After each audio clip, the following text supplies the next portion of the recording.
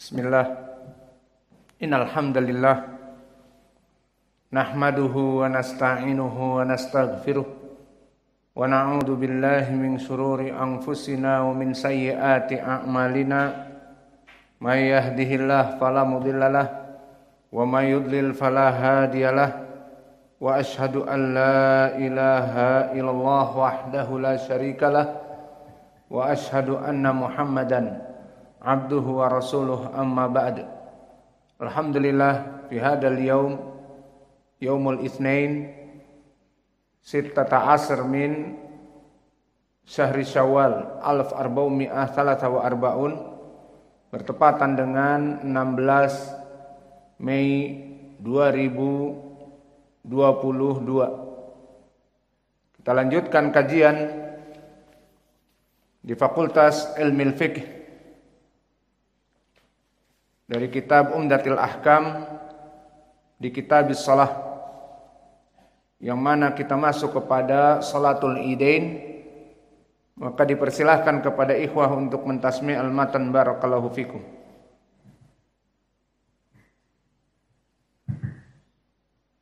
Bismillah qala qala Imam Al-Maqdisi rahimahullah an Jabir bin Abdullah radhiyallahu anhu ma'a Rasulillah sallallahu alaihi wasallam bis الصلاة يوم العيد فبدأ بالصلاة قبل الخطبة ثم قام بلا أذان ولا إقامة ثم قام متوكئا على بلال فأمر بتقوى الله وحث على طاعته ووضع الناس وذكرهم ثم وضع حتى أتى النساء فوعظهن وذكرهن فقال يا معشر النساء تصدقنا فإن كنا أكثر حطب جهنم فقامت امرأة من صفة الناس سبع الخدين فقالت يا رسول الله فقالت لما يا رسول الله قال فإن كنا تكثرنا تكثرنا تكثرنا الشكاه وتكثرنا العشير فقال قال فجعلنا يتصدقن من حليهن يلقين على ثوب بلال من خواتيمهن ومن أقراطهن وخواتيمهن قال المقدسي رحمه الله عن جابر رضي الله عنه قال شهدت مع النبي صلى الله عليه وسلم يوم العيد فبدأ بالصلاة يقول خطبته بالأذان وإقامة بالأذان وإقامة ثم قام متوكئا على بلال فأمر بتقوى الله تعالى وحث على طاعته ووعظ الناس وذكرهم ثم أعطاه حدث النساء فوعظهن فوعظهن وذكرهن وقال يا معشر النساء تصدقنا فإن كنا خبعة بجهنم فقالت فقاتلة من صفة النساء سقعاء الخدين فقالت لما يرسل الله قال لأن كنا تكثرنا تكثرنا شكا وتكثرنا عشيرة قال فجعلنا تصدقنا من حليهن يلقينا في ثوب بلال من نقراتهن وخواتيمهن قال المقدسي رحمه الله تعالى عن أمي عطية Nusaybah Al-Ansariyah. Qalat amarana ta'ni Nabi sallallahu alaihi wa ala alihi wasallam an nukhrija fil idain al-awatiq wa dawatil khudur wa amaral huyada an ya'tazilna musalla al-muslimin.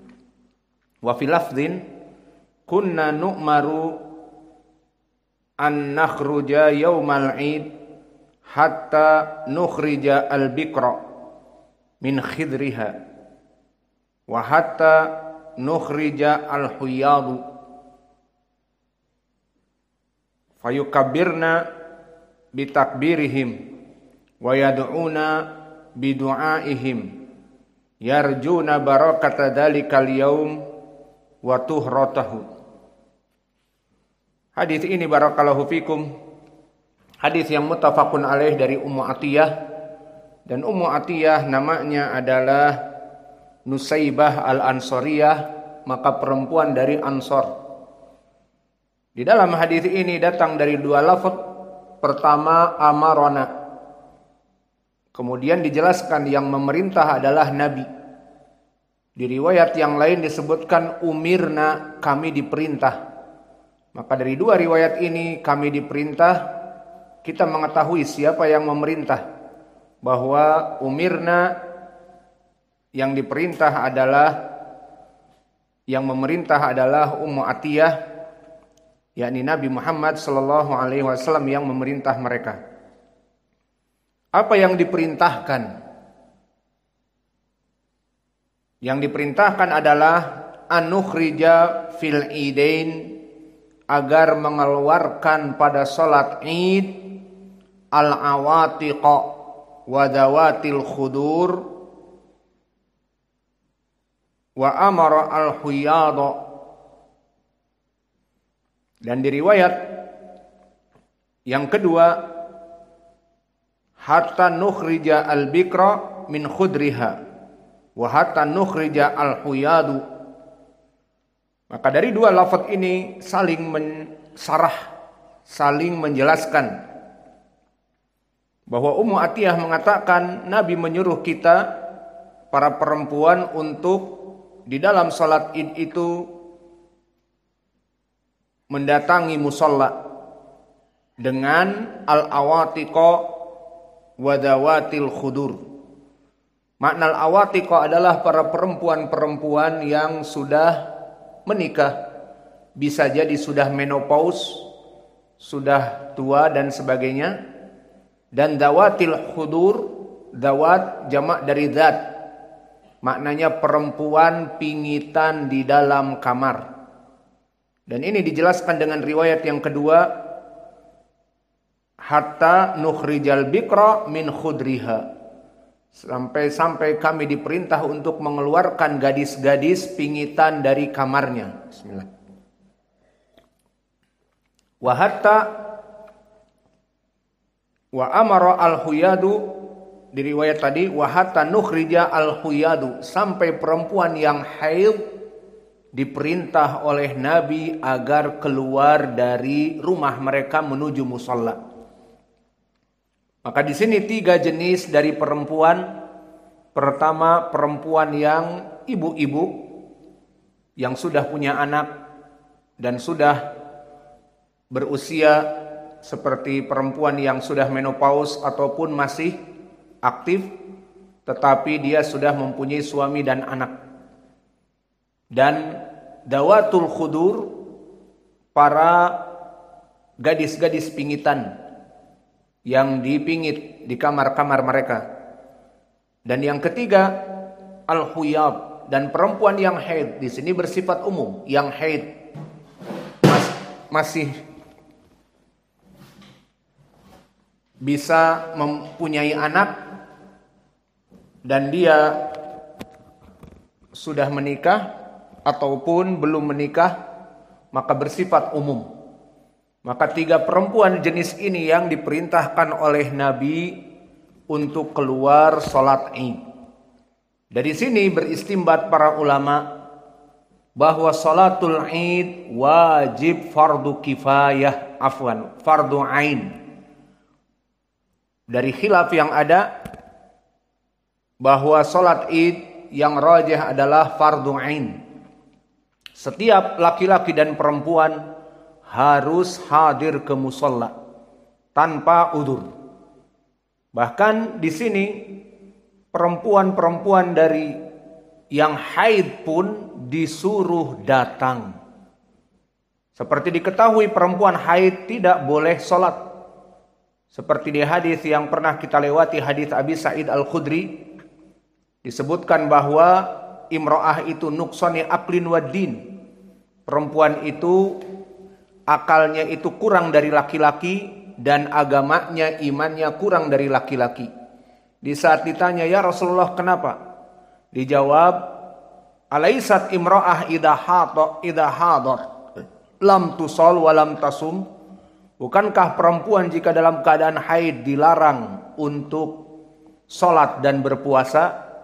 Maka inilah kekurangan perempuan dari agamanya. Adapun dari segi akal, maka syahadah dari satu laki-laki sebanding dua perempuan. Maka dari segi akal, akal laki-laki lebih daripada akal perempuan dan dari segi ibadah ibadah laki-laki asalnya lebih dari ibadah perempuan. Ini asalnya. Namun berapa banyak kita lihat suami istri laki-lakinya tidak sholat, laki-lakinya tidak puasa, perempuannya solehah. Maka ini dari perkara yang bukan dari asal. Tapi yang asal laki-laki itu seperti kita Alhamdulillah Istri-istri kita kurang dari kita. Karena kita sholat, sepanjang waktu mereka ada sepekan tidak sholat. Di puasa Ramadan pun kita puasa Ramadan, maka mereka ada tujuh hari berbuka. Kurang atau lebih dikarenakan haid. Bismillah. Maka asal dari perempuan itu kurang akal dan kurang dari ibadahnya dibanding laki-laki yang sempurna. Maka di sini telah kita ketahui perempuan itu jika hadir di hadis Abi Said yang mutafakun alaih tadi yang kami sebutkan, lam tusol walam tasum, tidak boleh puasa, tidak boleh sholat. Maka kalau tidak berpuasa dan tidak sholat perempuan ini, lalu kenapa hadir di musolla? Inilah dia hikmah Kenapa Nabi mewajibkan perempuan semua datang, baik yang haid, yang tidak haid. Baik yang perempuan sudah jompo, yang masih produksi, reproduksinya, alat reproduksinya, dan apalagi masih biker, perawan, pingitan, dikeluarkan. Maka ini menunjukkan, menunjukkan tentang kewajiban sholat id, bahkan bagi para perempuan yang haid. Namun mereka diperintah keluar tetapi tetap tidak diperintah untuk sholat. Maka awas jangan di sini maknanya sholat id wajib berarti mereka yang haid disuruh datang pun wajib sholat tidak.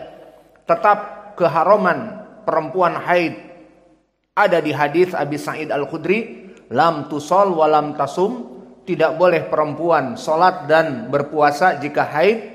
Maka di sini bagaimana? Kok disuruh datang? Di riwayat inilah disebutkan wa amarul huyadha an ya'tazilna musalla al muslimin disuruh hadir ingin menunjukkan bahwa itu perkara yang wajib namun tidak salat mereka mempunyai tempat khusus. Yang salat misalnya di belakang maka mereka di depan atau di kanan atau di kiri. Yang jelas kumpulan perempuan yang haid hadir meski tidak sholat di sebelah kanan sebelah kiri dari sof yang jelas di depan di belakang dibedakan. Ya tazilna mempunyai tempat khusus. Lalu apa faidahnya di beberapa riwayat yang tidak disebutkan di sini adalah yashadna agar mempersaksikan hari id. Dan di sini disebutkan maknanya ke arah situ yarjuna barakata dzalik al yauma wa tuhratahu yani mengharapkan barokah menghadiri dari kebahagiaan kaum muslimin. Maka di dalam hadis ini pendalilannya jelas. Yang pertama salat id adalah perkara yang wajib fardu ain untuk laki-laki dan perempuan untuk yang belum menikah dan yang sudah menikah. Untuk yang bahkan perempuan mempunyai haid untuk datang. Di beberapa riwayat tidak disebutkan di sini ada perempuan yang mengatakan ya Rasulullah si fulanah tidak mempunyai niqab, tidak mempunyai hijab. Maka berkata Nabi agar meminjamkan saudarinya dari saudari yang lain. Ini pun kata Syekhul Islam Ibn Taimiyah dan pendapat jumhur yang mengatakan atau pendapat yang mengatakan wajib fardu ain salat id itu pendalilannya di sini. Bahkan